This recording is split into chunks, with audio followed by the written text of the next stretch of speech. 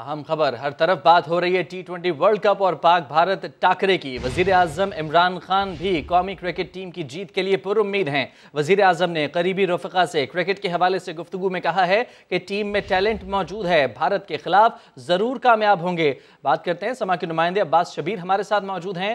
अब्बास शबीर बताएगा क्या कहना था वज़ीर आज़म का देखें, हर तरफ़ सिर्फ़ टी ट्वेंटी वर्ल्ड कप के पहले मैच पाकिस्तान इंडिया मैच की बात हो रही है।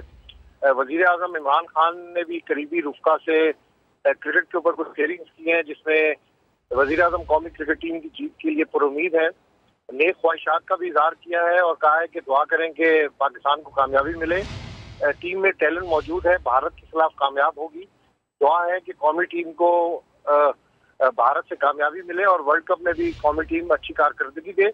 इनशाला हम भारत से ज़रूर जीतेंगे। वज़ीर अजम ने करीबी रुफका से ये गुफ्तु में कहा है कि वो पुरुद है और नेक ख्वाहिशात का भी कौमी टीम के लिए इजहार किया है उन्होंने।